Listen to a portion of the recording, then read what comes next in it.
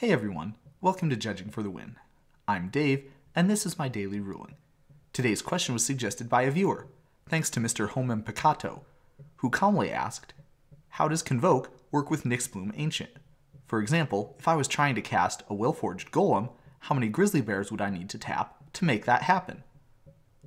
This is a really great question because if you take a look at the reminder text for Convoke on the card, it really seems like this should be something that would work. However, if you look at the entry for Convoke in the comprehensive rules, you see a different story. You can tell that it's actually asking you to tap the creature rather than pay the mana, which is thematically very similar to tapping the creature for mana, but most definitely not the same thing.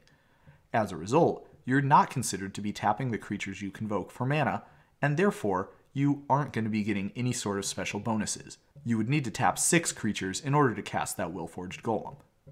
And that's all I have for you today. How did you do? Join me again tomorrow for another daily ruling, but until then, I hope you have a great day.